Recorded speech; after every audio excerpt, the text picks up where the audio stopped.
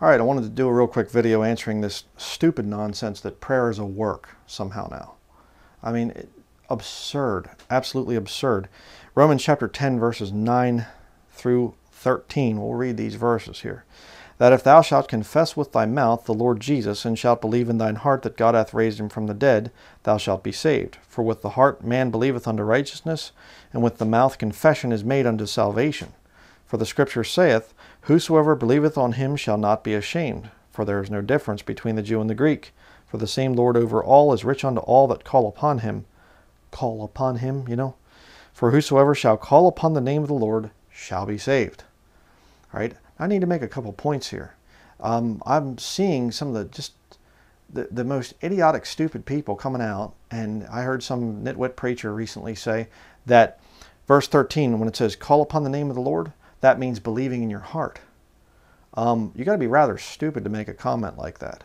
Why? Because the word believe is a King James Bible word and the word call is a Bible word. Okay? They're not the same word. So to say what you're doing in reality is saying you can, you can take the word call and you can cross that out and say it's actually believe. Well, then you're changing scripture. No, the word is call upon the name of the Lord. And they say, well, it doesn't mean that. And I've seen these guys too. They, they'll, they'll say, that doesn't mean that. Okay, show me more scriptures that talk about calling upon the name of the Lord. Uh, no, it doesn't. The little game doesn't work that way. Right?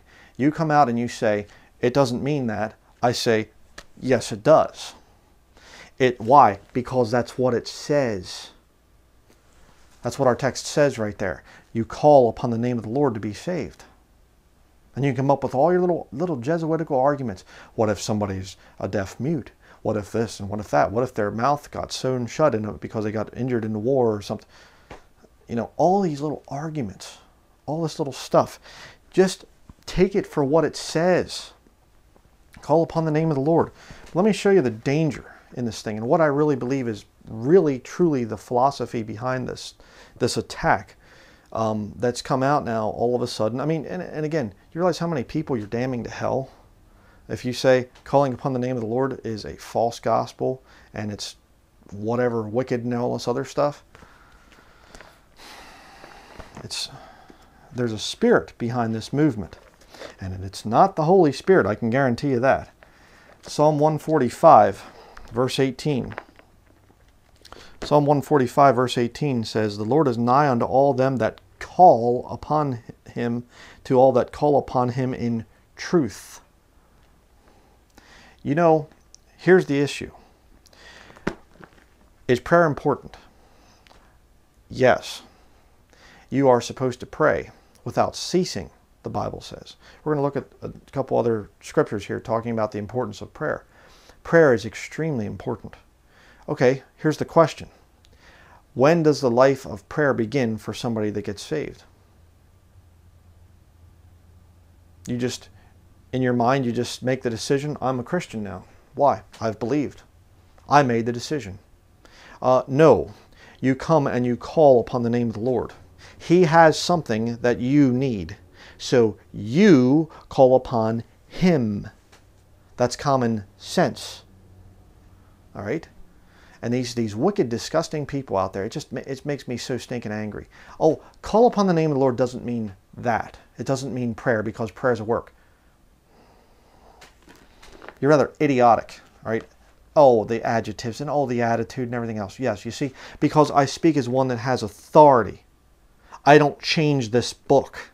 And these people that come out and they say, it says call, but you can just cross that out and say believe. Well, then you're changing the word of God and you're damning yourself to hell. You're proving that you're false. Go with what the book says.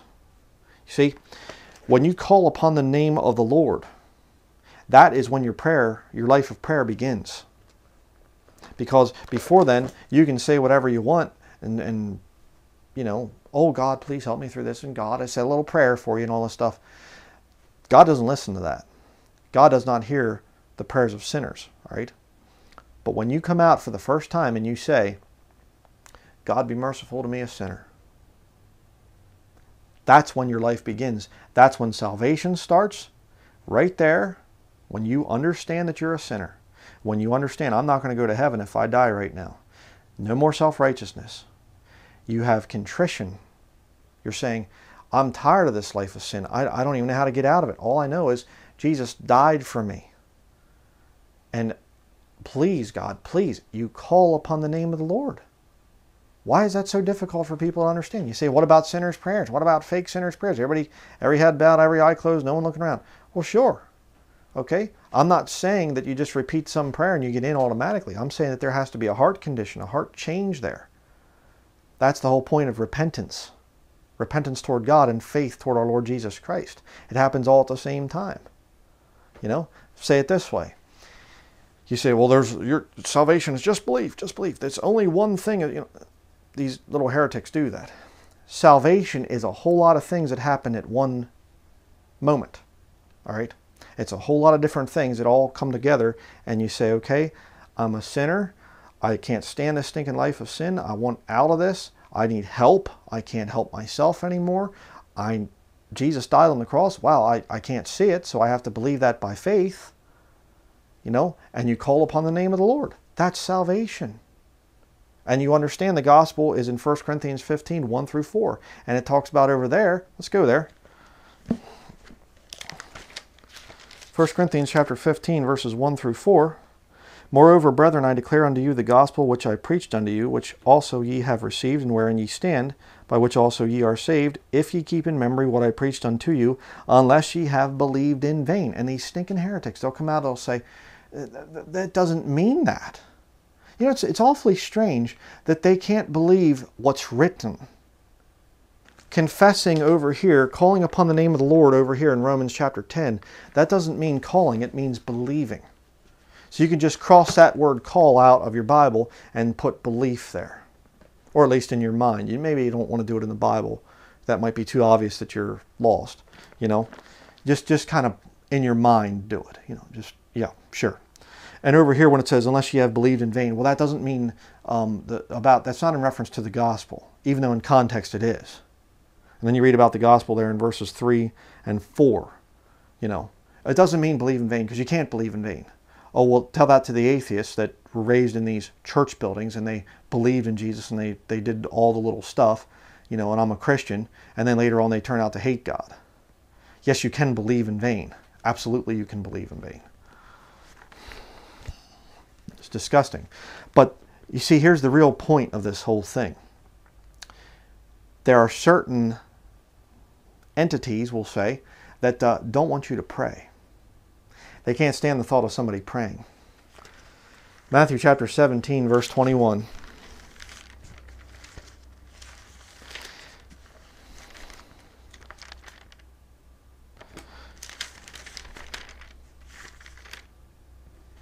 Matthew 17, verse 21.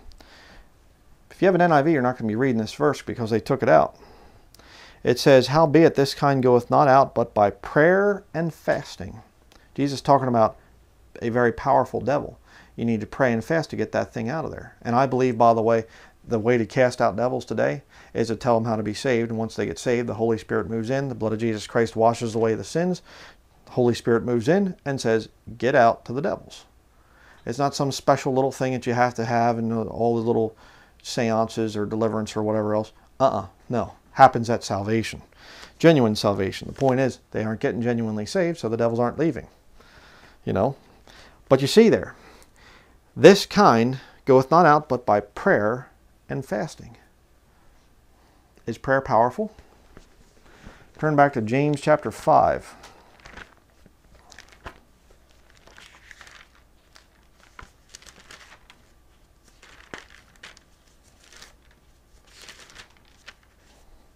James chapter 5, verse 16. Confess your faults one to another and pray one for another that ye may be healed. Okay, are we to pray today? You say, but, but Brother Bryan, I thought you say that the book of James is for the time of Jacob's trouble, for the 12 tribes which are scattered abroad. James chapter 1, verse 1. Yes, I do believe that. But uh, we're supposed to pray today. So what's written about prayer here is true for us today. All right, look at the second part. The effectual, fervent prayer of a righteous man availeth much. Okay, when does the prayer life start?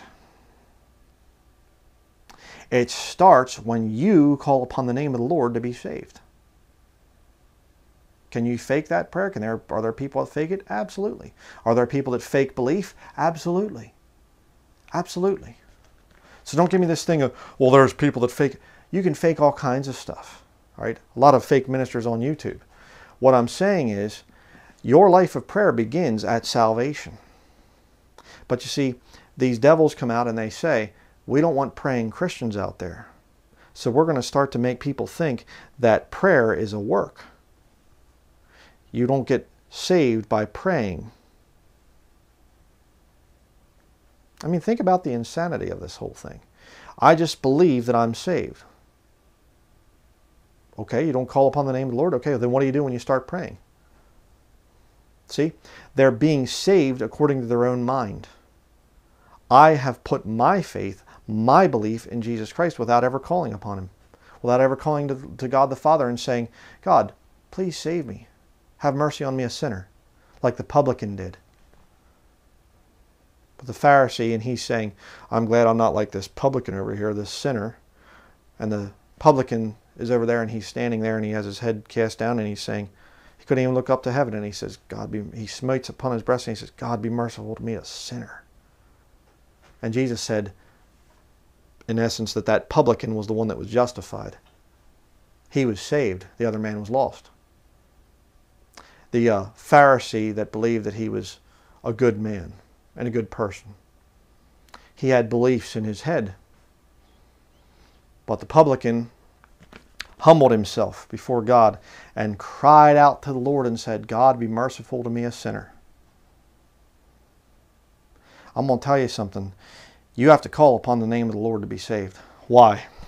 Because that's what Romans chapter 10 says.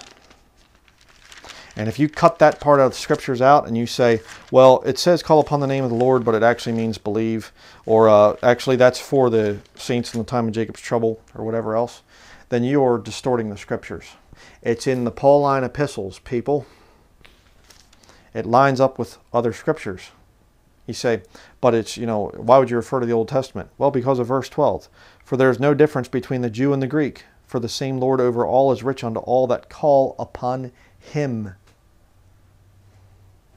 If you call upon the Lord in truth, if you are truly there and you're and you're being genuine and saying, God, please save me, what's he going to do? Oh, I'm sorry, that's uh, for a different dispensation. Uh, well, sorry, um, you're calling upon me, but uh, it was just belief.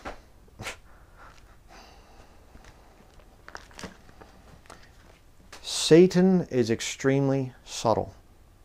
And what Satan will do is he will come along and he will say to you, that word that you have in there, it's not what it actually means.